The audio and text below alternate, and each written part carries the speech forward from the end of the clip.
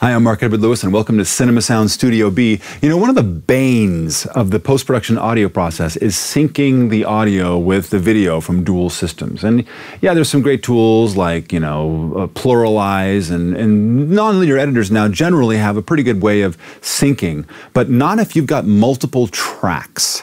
If you've recorded eight discrete tracks, how do you get them all to sync? Or worse yet, if you were doing a multiple record system where this one was recording it one, one way and this one was recording it another way, and then you have the camera reference, man, you have to sit there and line each one up. Well, hopefully you'd recorded timecode. But if you didn't, Adobe Premiere is probably the only nonlinear editor I know of that can sync wild tracks of any number of tracks deep in one go. Let me show you what I'm talking about. All right, now in Adobe Premiere, we are. Let's check out how easy it is to just do simple timeline syncing in Adobe Premiere Pro. So here, I just select, oh, so this is the camera reference. This here is from the secondary recorder. I just select what I want. I right click and or control click, however you want to do that. There's synchronize. From here, I can say, hey, look, if it's got time code, I can do that. Uh, or if there's a clip marker, I can say, hey, just sync to the clip start, clip end. I don't know why you want to do that. But for us, we want it to actually scan the audio of the files themselves. The reference will be channel one. That's this one here, uh, video track one, this A1, which is our reference and we click OK. It does a lot of reading of files and things. Do, do, do, do, do, do and in moments it will be in sync. Now, if you don't have audio that actually goes with it, it'll just say, hey, it can't be sunk. And then you go, oh, I'm trying to sync the wrong two things. But look at that, all happy and put together. And for our purposes, well, I'm playing all these guys too. That's hilarious. Do, do, do. How about we disable? Dubstep technique and mix. Cool.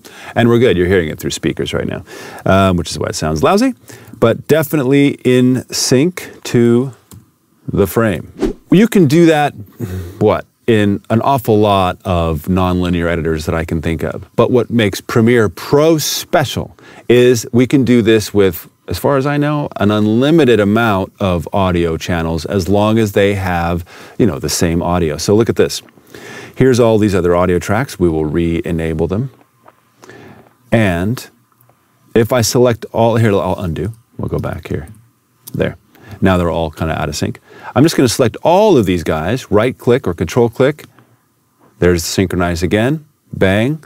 Make sure it's on audio. Make sure the reference is the correct reference track, in this case, track one. Click OK. It'll read all of those files, and as long as they have, they were recorded at the same time, it will sync them together. Bang, done. Something to note about Premiere, which I wish they would fix, but they haven't yet. If I have the audio file to the right of the reference, watch what happens. Make note. I hit OK. We talk about this in the cinema sound education, but I want to make sure you see this here. It moves the video file to the audio. But if it's before the video file, and we do this, and we go bang, what do you think it'll happen? It will move the audio to the video. Gunk. So if you're trying to keep audio, or trying to keep your video in the same space and move the audio, just make sure that the audio is ahead of the video. And that makes the same, it's the same thing if I have a majority of the audio files that I'm trying to sync behind or after, rather, if I do this, even though there's one ahead, watch what's going to happen. The majority of the audio files are after the video in the reference file.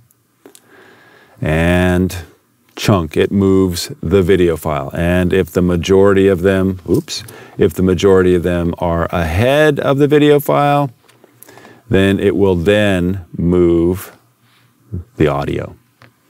Kind of weird. I'm not sure why that's cool. I wish they would just always move the audio no matter what, because I really don't want the video tracks moving. There it moved the audio. But anyway, that's how you do sync in Premiere Pro in the timeline. Super dope. Sure, there's nonlinear editors that will do a batch syncing of all kinds of audio tracks with your video reference, but only if they're stereo. The minute you get to three tracks that are needing to be synced, they all choke, except for Adobe Premiere.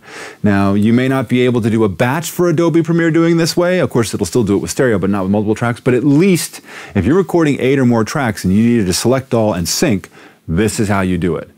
I'm Mark Edward Lewis, and uh, we hope to hear from you on the forum and seeing how this kind of sync technique works for you. Until then, we'll see you in post.